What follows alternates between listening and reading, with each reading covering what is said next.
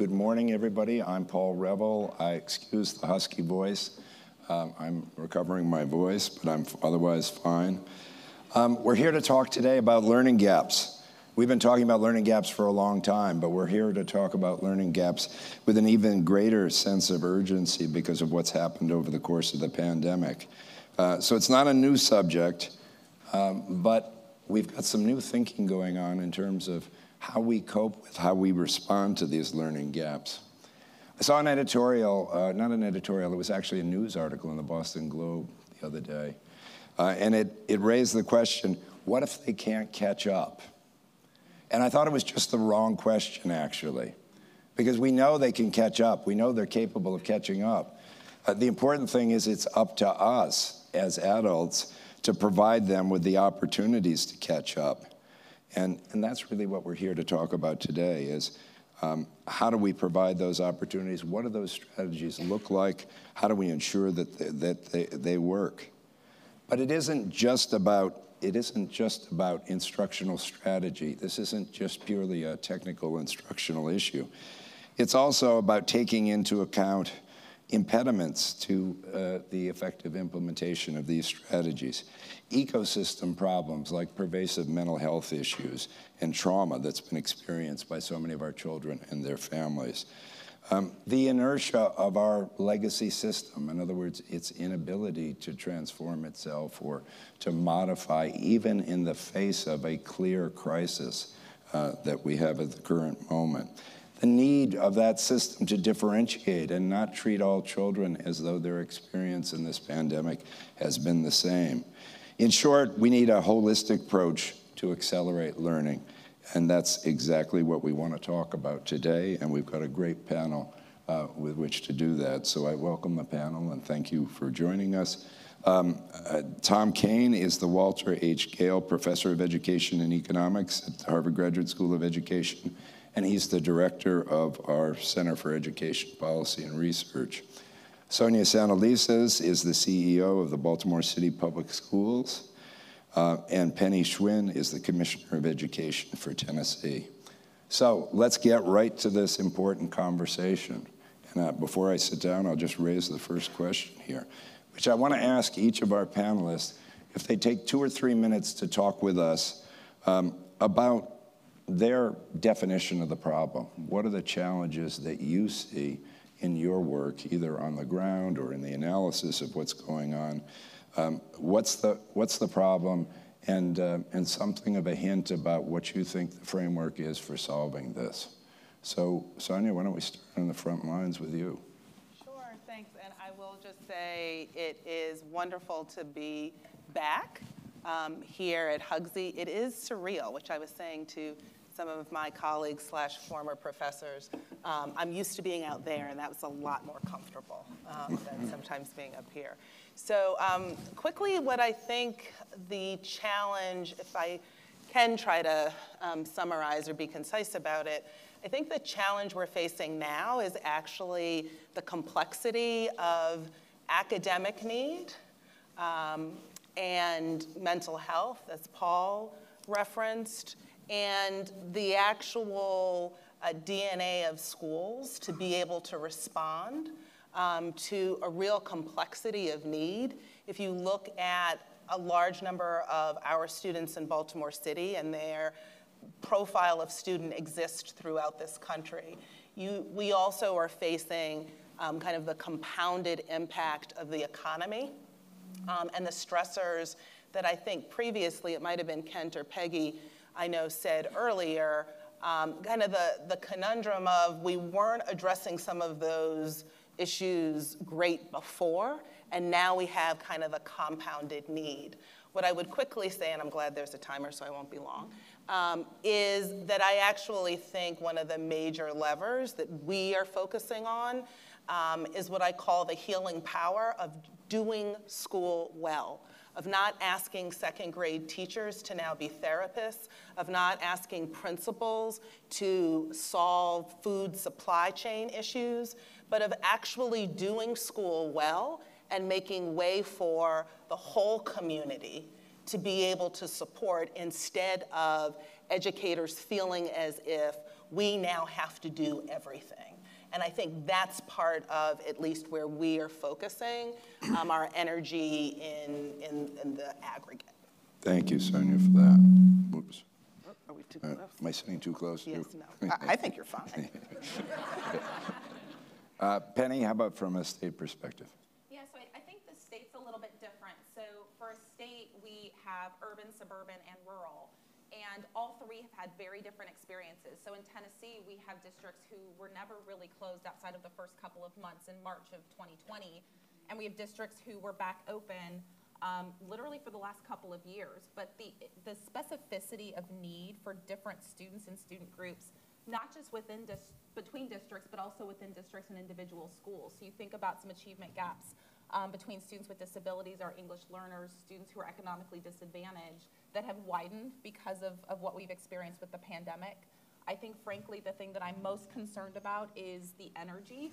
Um, it was a lot of how do we get through it, and now that we are kind of through it, we, we aren't done. Um, health is in the same building as us, and they're like, whew, wasn't that something?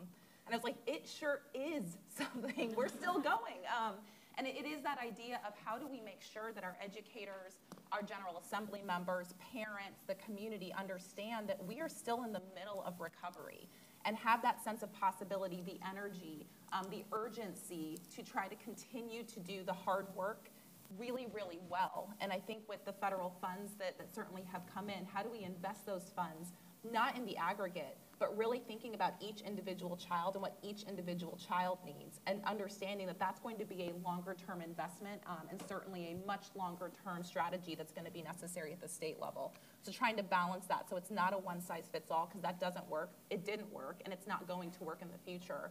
So how do we help districts to really think thoughtfully about how they invest their funding?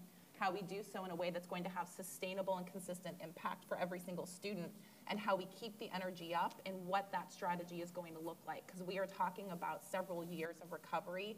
If we do it well, we're talking about decades of recovery if we don't do it well. Um, and I deeply believe we can do this well and, and get um, back to where we were and better off if we do, if we make those decisions now. Thank you for that call to the continuing work. Tom? So, back in the early 60s when President Kennedy issued the Moon Challenge, NASA's rocket engineers sat down and calculated what's the magnitude of thrust they were going to need to generate to send a um, lunar capsule, all the food and water that the astronauts were going to need, all the humans. And they realized, all the way to the moon, they realized, my goodness, like this is going to require a whole new rocket design, a totally different rocket design than we currently have. It wasn't a matter of just adding a little extra fuel to the rocket designs that they had. In education, what I've seen, so we're working with like uh, 12 districts that are planning interventions this year, and what, what I've been seeing is more like shooting bottle rockets at the moon, like directionally correct, but nobody is doing the calculation on what's the magnitude of intervention we're going to need. So, for instance, we're seeing a number of districts that are trying uh, tutoring interventions. Um, even among the districts that are most aggressive in terms of their tutoring interventions that, that we're working with, the average district is providing like 30 hours of, intervent, of, of tutoring to those students, and they're maybe providing 10 or 15% of students with, with tutors. 30 hours over a year. Over a year. Now, somebody needs to just sit down and do the math on, we, we have efficacy estimates for many of these interventions, including high dosage tutoring. And we should be calculating, okay, given those effect sizes, and given the losses that students have suffered since 2019, what is a combination of interventions which, at least on paper, has a chance to, to close the gap? If districts did that calculation, what they would discover is that they will need almost all of the at least the, the high poverty districts that were closed for much of 2021, they will need almost all of the federal aid that they have to pay for tutoring, extending the school year, vacation academies, summer school. And I'm afraid that that, that realization will come too, too late. So, so we, we need to be thinking more like, you know, NASA rocket engineers calculating what's the magnitude of, of, of effort that we need to uh, launch um, and not continue to, to just sort of shoot bottle rockets at the moon, which are just sort of directionally correct, but nowhere near enough to, to, to get there. I like your, your metaphor of rocket design, and each of you have commented in some way. I mean, Penny said one size fits all doesn't work. Sonja said we can't keep layering these things on schools that they need to do. And Tom, you've talked about you know, even, even the quantity of time available in order to do the kinds of interventions that are important. I guess one question that we'll come back to, but I'd, I'd, welcome comments now if you had comments, is how do we generate the public will in this moment? We have kind of a moment of crisis. As you've all said, we've had gaps for a long time, and we haven't been terribly effective at closing them. Now the gaps are wider than ever and, and affect different populations more deeply than others. If this isn't the moment, what is? And what do we need to do to take advantage of this moment to generate the public will for the kind of transformative change that your comments suggest? I mean, I'll jump in because that's, that's a tough one. I think at the state level, um, the fact of the matter is that we're back in person is kind of the win for a lot of families. You know, I've got three little kids. And so doing school at home while we were trying to also do work, and I mean, I went in seven days a week, it's a different kind of job, but my husband trying to balance that um, is really hard. And there is a parent strain and drain that is, is very real for a lot of folks, and we've seen lots of data on that. And so when we talk about kind of being back in person and the return to quote unquote normalcy, it's really hard, again, that same kind of urgency. We're not through this yet. It is hard to keep the engine going and really stepping on the gas that we've got to continue to really focus on this. And so for us, we'll have a flash in the pan. You know, we had the long-term trend data um, from NAEP that was a couple of months ago, and lots of legislators talked about it.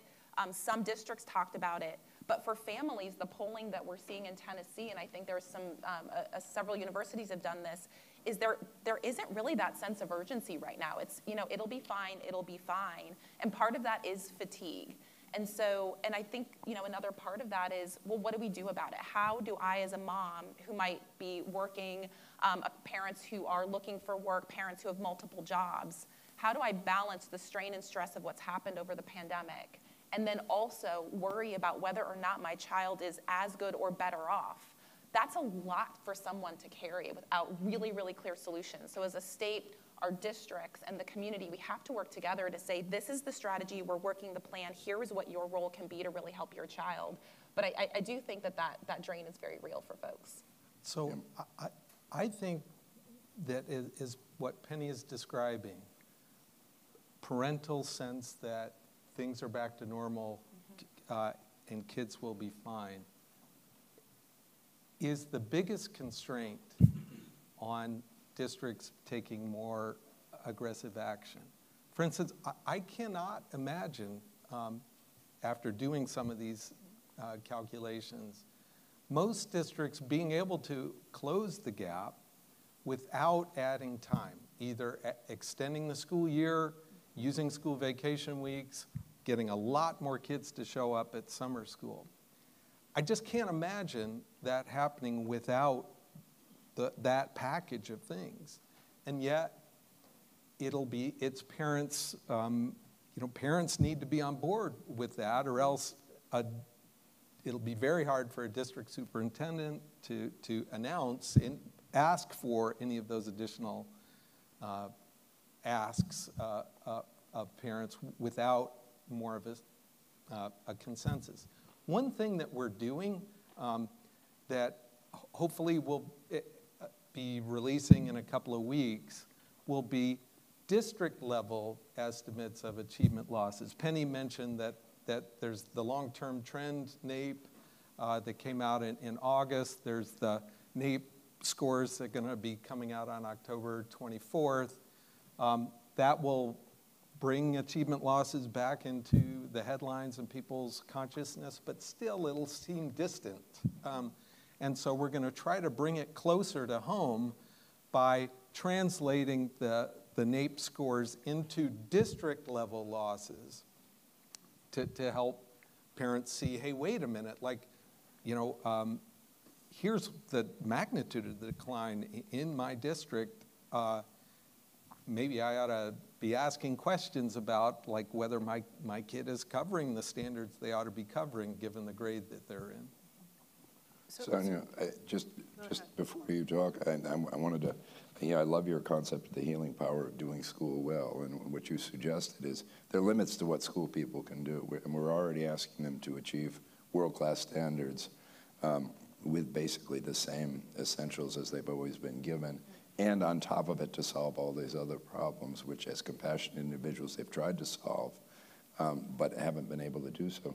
Um, as you talk about this question of public will, I wonder if you see the will in the rest of the community to redefine a social compact in terms of what our community owes to our children and the school's role is here doing certain kinds of things and the rest of the community there. Do you see any movement on that kind of thing now?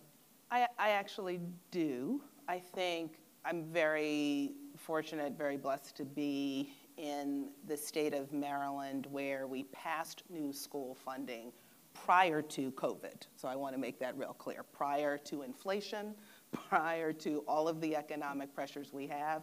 So, you know, I'm also a realist. Let's hope it holds.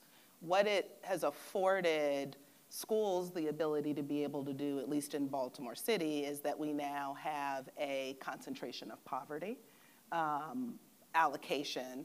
And one real way that that hits schools and that challenge, Paul, is that now there's actually funding for community school coordinators. Now, in full disclosure, like I'm an academician, I'm like, four years ago, why do we need community school coordinators? well, I know in stereo why we need community school coordinators. Because those people actually do a better job. They're closer to the community. They don't drive home outside of Baltimore City.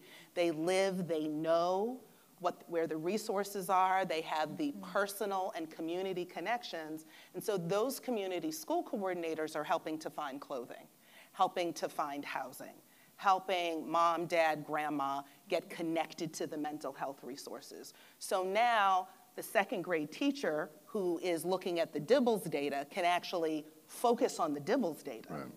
right? And there's someone else within the school to not say those things shouldn't matter, just press through, but to say, I can actually help with that. And what we're hearing from our families is that meeting of need, and I think this gets to the other question we were talking about. If we want to communicate the urgency with families and parents, we also have to have two way listening. Mm-hmm. So often, and you know, look, I do it too, because I sit in a seat where it's real easy to say, okay, what is it we want people to do today? And if they could just do what I want them to do, then this thing would be fixed. And that's not what we are finding.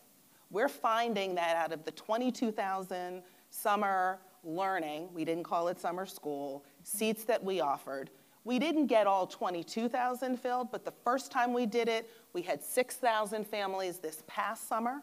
We had 17,000 families. And what we found was more successful was when, at the local level, meaning at the school level, we leveraged two way conversations.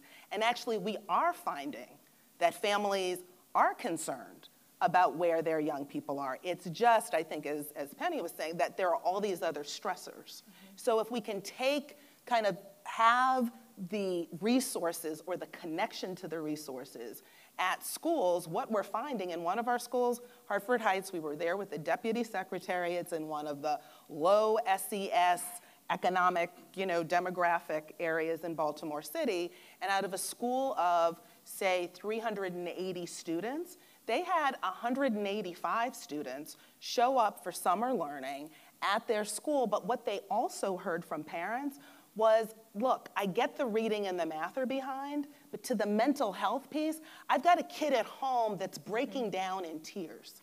I've got a kid at home who experienced trauma because when we closed schools, we forgot the importance of schools. And I don't want to get into the school politics of closing and all that, but to be frank, I'm not sure what we thought we were going to find mm-hmm. when you keep kids out of relationships for two years. Mm-hmm. Mm-hmm. So, in, in some respect, our focus has been on how do we provide the support, the direction, and the resources for local schools to make those connections. And what we're looking at when we, and I do think that, look, Tom is right. Like at the district level, we have to be able to know our district outcomes. But what I have found, particularly in black and brown communities that have large tracts of underperformance, as Baltimore City does, we are deaf to that because everything that comes out talks about lack. My mm. parents don't want to hear anymore. You come in and tell me how urgent it is because everything in Baltimore City is on fire. What they want to hear and what they respond to is when you say, Sonia is sitting in second grade, she missed half of K, she missed all of first grade, and her third grade reading, her second grade reading placement is at pre primer. And this is what this means, Mama. And Mama breaks down in tears, real story, real parent we talked to with the deputy secretary, who was tearing. And what, when she started bringing her student to the hour long per week tutoring, right? It wasn't just, oh, 30, because Tom's right. We had to prioritize. That mother now is breaking down in tears because after a summer, when she got her other needs met, she now knows her baby can read on grade level. She doesn't care about the aggregate. She cares about where my child is. And mm-hmm. where we're seeing the lift is where you can build it at a local level and have reciprocal listening. Thank you for your math score. Thank you for your verbal score. I want to know does my child have band? Do they have an art class? Do they have the place to learn how to play baseball? That's what our families told us. And we had the advantage of having longer term money. Let's hope Maryland holds. Mohammed, you heard me, right? Like we got a hold on the Kirwan investment because, unlike my colleagues, I'm not looking at a cliff. Mm-hmm. I'm looking at great one time money, but I know I've got a 10 year ride down the line with the new school funding formula that allows me to put those other things in place. But I do think we've got to get in a posture of reciprocal listening because this telling me my neighborhood's on fire, telling me my kid's behind is not resonating with my parents. They're like, you always tell us we are less than. Mm-hmm. Why don't you listen to me and then I will buy into what your plan is to move my child. And one last thing, because I know I'm taking too much time, is I do think that there is a posture that certain people don't care about their kids. Mm-hmm. And I will tell you that is true, but that's true at all economic levels.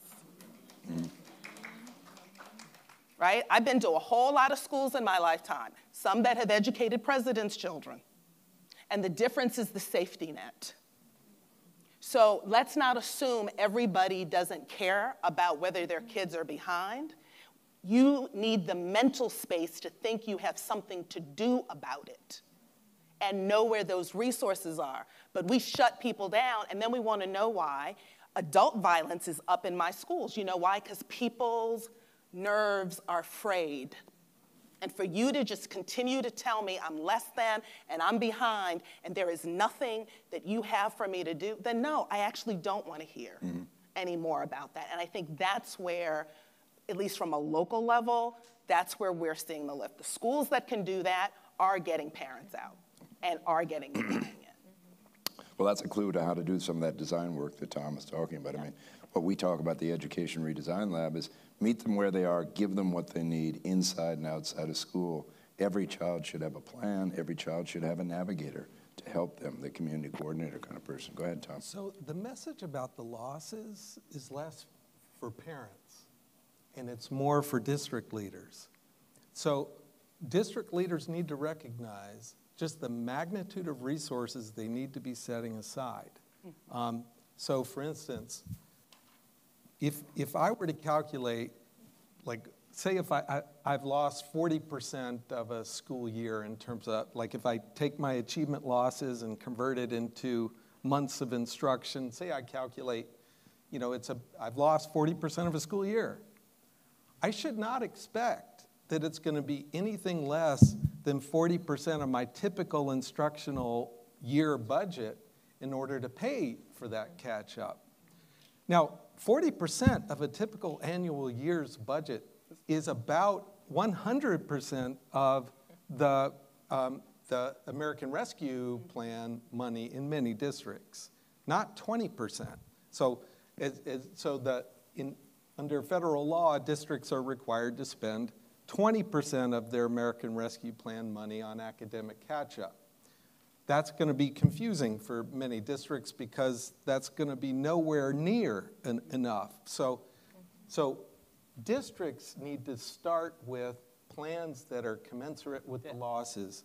And ideally, you know, we need some success stories for other districts to follow. One, one of the problems right now is high dosage tutoring is the one message that has effectively gotten out there, and yet not every district is going to be able to do high dosage tutoring at the scale that's necessary.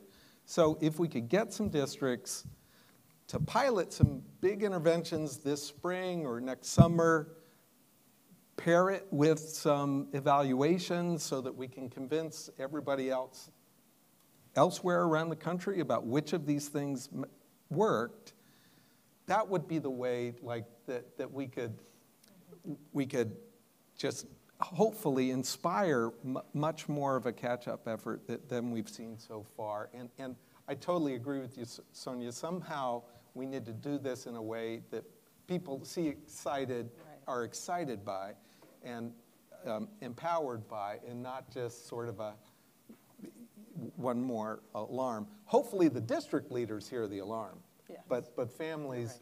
should, should be that shouldn't be the primary message to families. We've, we've touched on the ESSER money, and, and Tom, you alluded to strategy here. So let, let's bring the lens down a little bit and talk about, at least for the instructional piece, what's working on the ground. You, you mentioned things beyond tutoring that, that districts ought to be thinking about investing in. I want to ask you what the research shows us, and then, you know, Penny and Sonja, what they're finding on the ground is working in their jurisdictions. But Tom, why don't you lead us off? What, what's the research telling us works and we should be spending ESSER money on? So, um, so again, I think it'd be worthwhile for a district to start with, okay, here's an estimate of the number of weeks our students effectively lost. And then convert the efficacy estimates of different interventions into the same unit. So for instance, high dosage tutoring generates the equivalent of about 19 weeks, or basically half a school year's worth of, of growth. So, for a lot of kids, if they got high dosage tutoring for a full year, that would be about 108 hours, not, not 30 hours of mm-hmm. tutoring. That might be enough to close the gap for a lot of kids. Um, but districts are going to struggle to implement high dosage tutoring at the scale necessary. So, so what are some of the other things? Another is double dose math. Uh, so doubling, providing kids with an extra period of math instruction during the day. Prior studies have suggested that generates about 10 weeks worth of learning, not as high as, as 19. Um, uh, uh, but, but, okay, but at least that might be, might be able to offer that to a larger share of kids. Summer school, um, the prior research implies it generates about five weeks worth of learning. Now, I'm citing these numbers not, not to imply that, oh, this is just a mechanical exercise um, and districts can count on generating that magnitude gain because it's going to be hard to implement a high quality tutoring program in, uh, um, in this environment, but just to, so that people start to get a plan that at least on paper is enough. And then okay, if it turns out the catch-up is going better than we expected, we could scale back next year. Um, but uh, but uh, if we don't start with, with a set of interventions that even on paper are way too small to get there, we're gonna, we're gonna find out next summer, next year, this time, that kids are still way behind. And then, and at that point, the problem is there's only one more year for, to use the federal, federal dollars.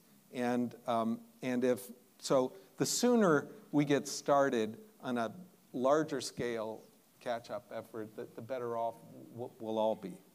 Penny, how about you? How are you spending your ESSER funds and what are you finding is most promising, work best? Yep, so I, I, think for at the state level, we're thinking about it um, with the three legged stool. So, one of the challenges is when it's just about spending the dollars.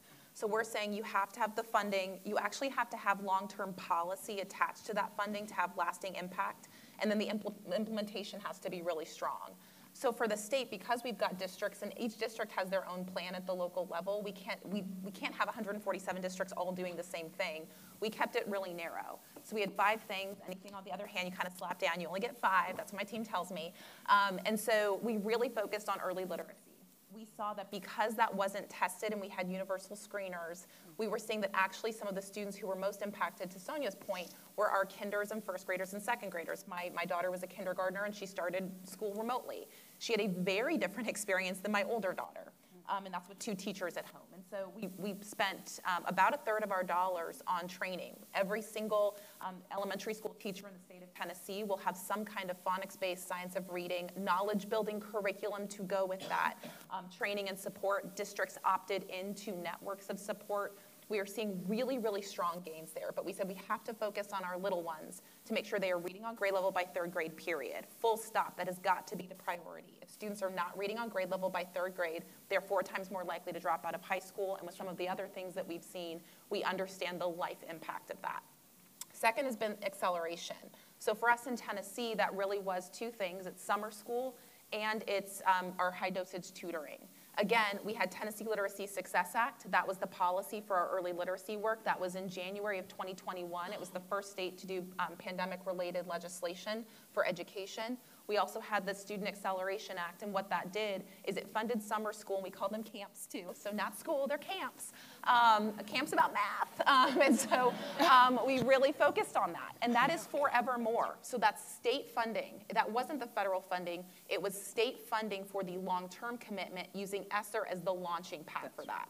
We had about 25% of our elementary school students participate last year. We did not see a big drop um, in this last summer. We also had about 20% over the course of these last two summers of our middle school students. So we saw the participation was there, and it really did address not just math and reading, but also some of the mental health supports that really needed to be in place. Tennessee ALL Corps is our big bet on, on um, high dosage tutoring. We've got about a million students in the state. Um, we used ESSER funding for 150,000 of them to receive high dosage tutoring. Plus, we have additional micro grants for families so they can have early literacy tutoring on their own schedule and community grants because we recognize that some schools just are not staffed to provide high dosage tutoring. It is very intensive on the staffing side. So, some of our United Ways, our Boys and Girls Clubs, our YMCAs, when they offer summer programming and after school supports, they should also be able to not just do homework help, but do high dosage tutoring. Let's make those minutes effective for students so they get the same training and resources. But ultimately, what we've seen is we started this as a state in January of this last year. The ESSER funding was about eight months before that, and procurement takes about, about eight months. Um, we started that across the state, and we are seeing that those districts that implement well are seeing significant acceleration between January 22 and May of 22. M- more acceleration than we've ever seen as a state. What we saw, though, is that now we have policy and long term state funding to support tutoring forevermore. It is not just right now. It is saying this is a best practice. We have to rethink how we do RTI or those response intervention blocks. How do we use the time and minutes we have with kids so we don't sit them in a center on a computer and not really actually think about what we're doing with the time that they are in those seats? Let's make every single minute matter for every kid with where they're at. The third is um, really thinking about our teachers. Um, there's a shortage. We keep talking about the shortage. We are really trying to make sure that we are using our ESSER dollars so that every single child has a very experienced teacher in front of them every single day. We cannot continue to talk about the impending doom of not having enough people to fill those seats. The time is right now. We've got students in college. We have high school students who are still figuring out what they want to do. Let's remove the financial barriers to becoming a teacher. Let's diversify the profession so it reflects the students that, that our teachers are serving. And let's get rid of the idea of a first year teacher. So now we used our federal dollars to have an apprenticeship program in partnership with the U.S. Department of Education and U.S. Department of Labor. You can become a teacher for free while you are paid to do so. It allows for us to really eliminate shortages. And it means that you have two years of practice under a master or mentor teacher before your first day. My first day is gonna, it, it, looked a lot different than the future teachers in Tennessee. It was me shaking with my high school students in, in the great city of Baltimore, Maryland.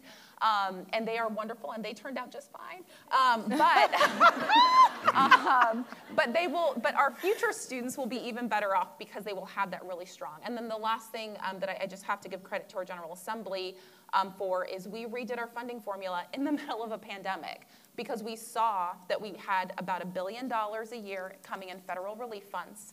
And in order to continue the investments that we see are working with kids, and they are working, our data is showing that we are back to pre pandemic levels in English language arts in our spring testing data. Again, six months after we started, not the January results in our mid year, but after we started the acceleration efforts, our le- legislature said a billion dollars a year more for public education in the state of Tennessee to address the needs of individual students, concentration of poverty, students with disabilities have a 20% increase in funding. Tutoring will be funded forevermore. Summer camps will be funded forevermore. And early literacy will now be funded for every single elementary school student so that they can have smaller class sizes, more programming, and actually have the materials they need to succeed. But that's, that's it's going to take that at a minimum. Mm-hmm. And the last thing I'll say is that it's not easy. And I think it, there's no silver bullet. It's not like you just say, well, just do it. Schools, just do the hard thing. This is really, really hard, very time intensive, and requires a lot of people on the ground doing good work, all moving in the same direction. And we cannot underscore enough as states and I think as districts to say this is very hard for a very long time. But we have to approach it not if we can do it or if we will do it, but how we will do it. And that's what we say over and over. It's not if, it's how. And so understanding and validating that it's hard, doing the right thing, and making sure we're looking in the data to make sure it works, having the money, the policy, and the implementation, and not giving up, but continuing to move forward. It's the minimum expectation we have to have of ourselves if we're going to do right by kids. Thank you for that. Sonja? Yeah, and I, I do just want to emphasize the fact that what Penny described is occurring at the state level, which releases LEAs or local superintendents to then focus deeply on implementation. And I don't think that that is a minor thing. So when we talk about the levels of leadership, both from a research perspective, a policy perspective, um, and then locally and at school level, I think it's important to know that that role from a sitting superintendent's perspective is not minor because we're investing in some of the same legs, mm-hmm. right? So, but, but we're doing a lot of the research on the ground, right? So we don't have a state teacher, uh, a state tutor corps we have to come up with our tutoring. And so what that means is we're investing some of our dollars and we have been monitoring which tutoring is yielding results. Because I think to Tom's point, I mean, one of the things we had to do, because um, we started virtual tutoring actually in spring of 2000, like the winter of 2019 into 20. Because I, again, for those of us who were on the ground, I'm actually not surprised um, at the data. But I will say, we're now having to develop our own internal evaluation and assessment of the quality of the tutoring programs. So we've shed some, right? We have increased others. But where you're going to get the tutors, how you monitor the data on the tutoring, how you ensure, and Tom is right, that the dosage is at the right level. I just need folks to know that's all sitting in a school district as opposed to sitting at the state. And so when we talk about appropriate roles at appropriate levels, I think that's going to be one of the key learnings that comes out of this time. The other piece on the early literacy that I think needs to be emphasized uh, to me as emblematic of it's time to focus on what the high leverage instructional strategies are. Like to, to continue to have reading debates, and I say this with knowing Pamela Snow is in the room, like to continue to have debates is absolutely asinine at this particular time. I don't have time for it anymore. And like I've told folks, if you don't believe what the science says about how kids learn to read, there are plenty of other districts you can go to. Our kids don't have time for it. And so the fact that like the state is championing that, and you know, shout out to Superintendent Choudhury because he's also investing in some of those. I think that there's got to be alignment between what all of the levers are that policymakers are putting in place. Because the power of knowing that you've got the state taking some of that load so we can go deep on implementation and you know that there's the money. And let me tell you, there's a lot of urban soups that are not in Tennessee and not in Baltimore City that are wondering what's going to happen if they build this infrastructure and there's a cliff. And we all know, because many of us have bent Kent McGuire's ear on this, we know we are going to get blamed for mismanagement. If we, come on, it is that part.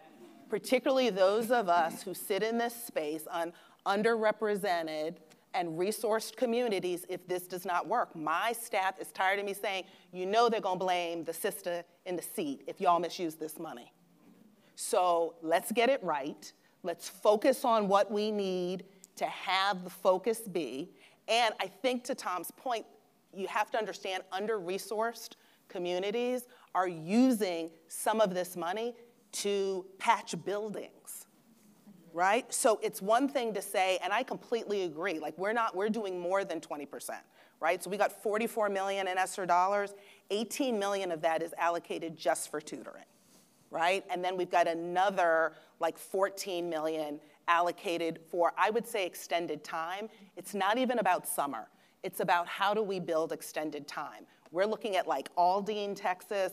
Shout out to LaTonya Goffney. Like she had five to 10 schools that she took to year round, not by mandating it, but saying where are the schools that need it, and she's seeing as well that level of acceleration when we move to year-round schooling. That all takes money, and you can't do that if you also have to worry about bad school buildings and trying to use money to patch that. So one, early on in the pandemic, states and the federal government were so eager to get these dollars out, understandably, because we were in, we were in the midst of a crisis, that there were very few strings attached in terms of data to be collected. So, believe it or not, there are a lot of districts that can't do what Sonja was just describing of tracking which kids were getting tutoring or which kids were, went to summer uh, learning or camp, um, um, or which kids were going to the after school program. Yet those are the data that will be critical for just trying to figure out which things are, are working and which aren't. So this is something that states, um, Sonja, as you're suggesting, this is a role for states to identify some of these promising programs, pilot them this spring or this summer, pair it with like a, a plan for evaluating it, and then get the evidence out to the districts in their state, but also to districts around the country about which kinds of things are, are working. It's a, it's, a, it's a wonderful opportunity for states to give districts an opportunity to innovate, but in this case, innovate with an evaluation, you know, com, you know combined with it, so that we can say something later to convince skeptics on which of these things worked and, and, and some some won't work, but, but let's, let's see which ones do and let's elevate those. It's important to note, and I'm glad you pointed it out, Sonja. I mean, we're, we're dealing with, well, really, I mean, if you think of yourself as Massachusetts or myself as Massachusetts, three exceptional states with Tennessee, Maryland, and Massachusetts, so they're outliers. So that's not going to be the typical experience. The typical experience is more like the blame that you were talking about earlier. And so I'm, you know, since we brought up the state role, I'm interested in you know, from a policy perspective, and as we think about, we've just been talking about some of the instructional strategies, But we've all alluded to the other factors in the environment, the mental health problems, the relational problems, the schools being asked to do too many things.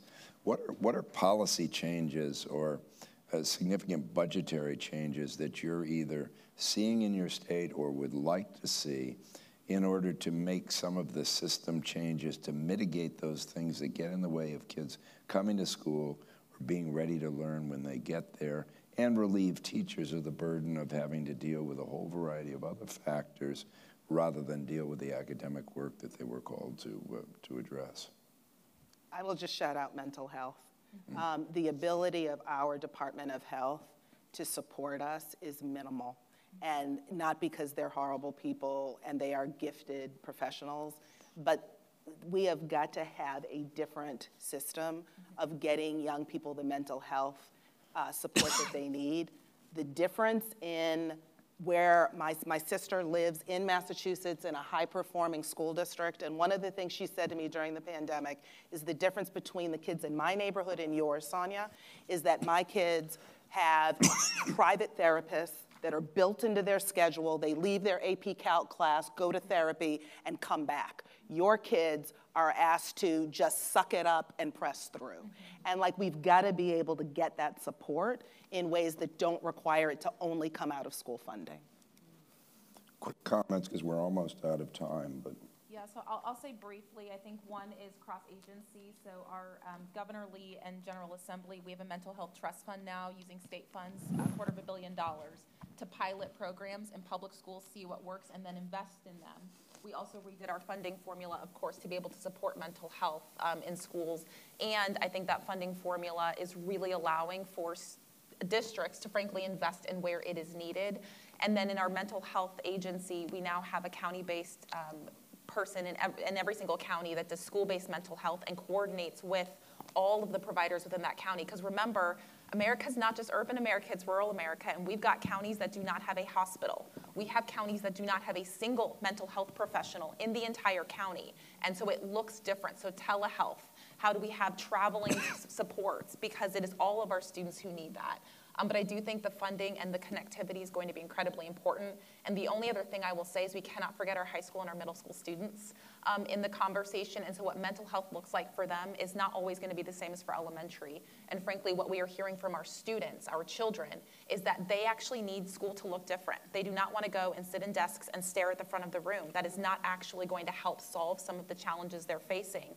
So, if I think forward about what school can be, Imagine going to high school and you are actually getting work-based learning and apprenticeships because you want to be a teacher and now you're in a classroom. You want to be a welder. You want to be a doctor. You are going and experiencing the job of the future. You might even be getting paid to do so, but you are getting access and opportunity and working in a field and working with your with your fellow students in a high rigor environment and getting the mental health supports that you need we have to rethink and re-envision what school looks like for all of our kids. I actually think that's part of part of the solution, not just what we bring in for those kind of one-off appointments and supports. It has to be a redesign for the kids we have now, not the kids who existed 20 or 30 years ago. It's really important to do that in this moment. thank you. Tom, last word quickly. So, this pandemic did not affect every kid equally. There's been a remarkable, we already had inequity in 2019, but the inequity we had in 2019 is much worse today. Um, And it's on us, it's on all of us to revert that. Um, And, and as Penny was describing, we have a, we're not going to get it done in one year, but we need to get it done in a, in, in a two or three years, or else um, uh, kids will be um, permanently uh, behind. And uh, it'll be on us if that happens. Um, it'll, it'll, be, it'll be our fault because the federal government has provided the resources. Um, and uh, if we can't manage to get ourselves organized to use those resources to close the gaps, it, it, it's on us. Well, as we started, it's a, it's a holistic strategy that I think we're all talking about. It's not, it's not just improving instruction, but it's addressing all these needs that arise from the ecosystem and the differential experiences that, are, that families are having. So this notion of redesigning not just education, but child development with a design principle of meet them where they are and give them what they need. And that's, that's where I think we need to head. I want to thank um, the panelists not only for being here today and sharing your wisdom and insights with us, but for your public service, your leadership, particularly the two of you who are on the front line at the state level, at the district level, and Tom for all the research that you uh, provide to shed some light on what's going on out there. Thank you all for your public service, but especially thank, you for being with us today.